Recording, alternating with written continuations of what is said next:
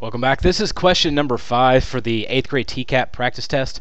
Uh, the question seems, it's one of those ones that looks like it's really hard. It's absolutely not hard.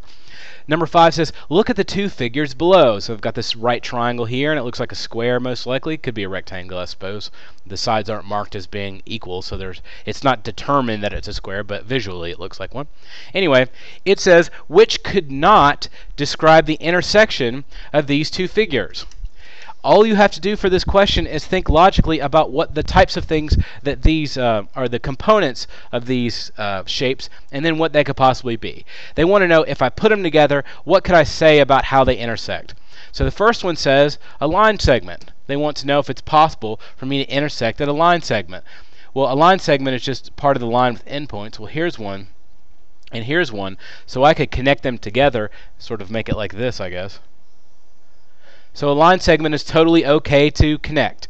Uh, the next one is a point. Well, here's a point and here's a point. So if I did this, totally possible and it's okay. The next one is a right angle. Well, they both have a right angle, so that's all you would really need it to be. I would just do um, this, and there's my triangle inside my square. Uh, the last one is a ray. You could have skipped all of the ridiculous drawing that I did and just think: is a ray in, is there a ray inside of a uh, triangle or a square? And the answer to that is no. A ray goes on forever, so it'll never form a shape.